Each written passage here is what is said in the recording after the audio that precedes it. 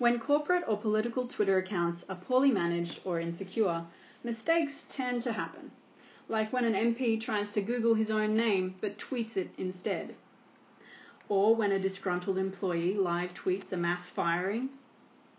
To avoid these mishaps, it's best to keep a shared Twitter account secure. Trying to share accounts on Twitter usually involves sharing a password.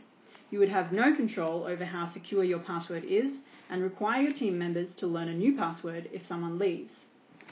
As a result, this can become a security and PR nightmare, but now Twitter's just released a simple solution for you to manage access to a Twitter account.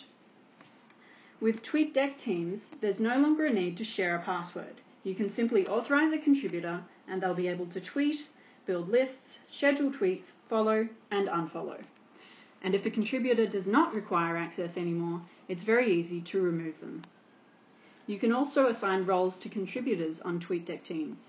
This will definitely make things easier for larger companies and organizations as it allows the admin to control the level of access an employee can have. Because TweetDeck Teams has just been released, it's only available on the TweetDeck web app for Windows and Chrome. All admins and contributors also need to log in to TweetDeck in order to be able to use the tool. Is it time to say goodbye to poorly managed shared Twitter accounts?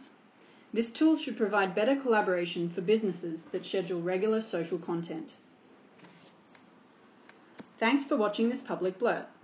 Get the free Blrt app to make your own private and public Blrts. Simply talk, point, and draw over images, documents, and websites. Subscribe to our YouTube channel and stay informed.